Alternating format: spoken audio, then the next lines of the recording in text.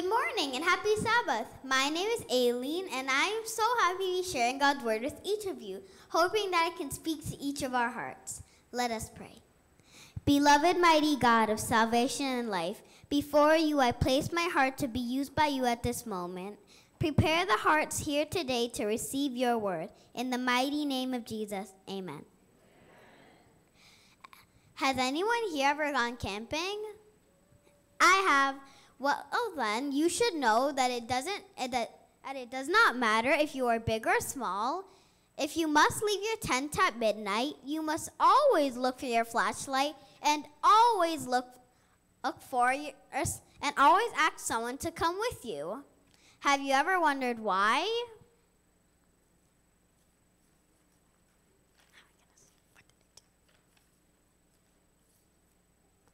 Either for fear of the dark or to avoid accidents. You can fall into a hole, slip, or even get bitten by an animal.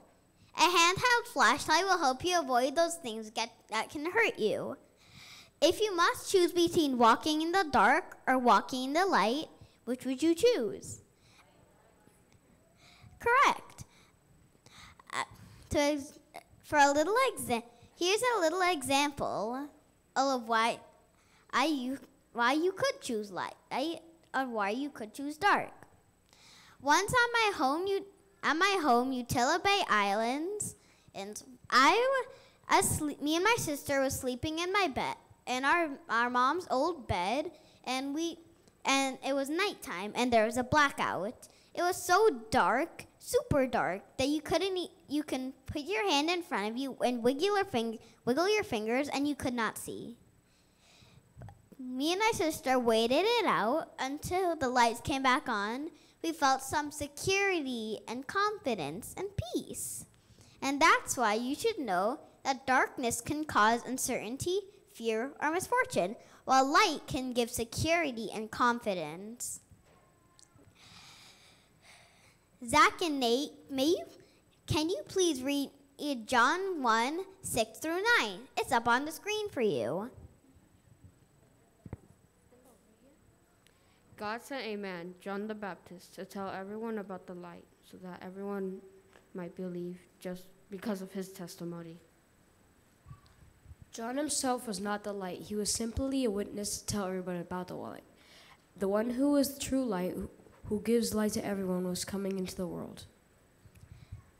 Correct. Thank you. And now I'm going to pass on the rest of this lesson to my best friend and most trusted fellow adventurer, Arabella.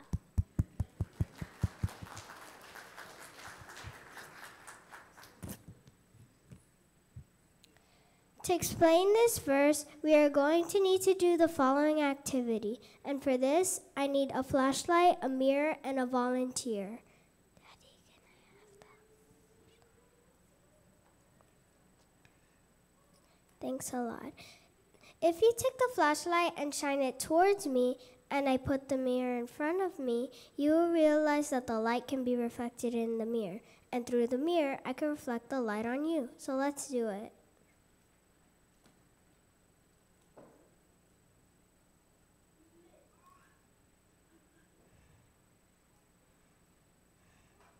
Can you see it? Super interesting, isn't it? While doing this at home, I learned two lessons. First, for what I just did to happen, I had to keep the mirror in front of the light. If I had turned my back and I were not facing the light, I can't reflect it. Secondly, I have to verify that nothing and no one stands between me and the light. If that happens, I can't reflect the light.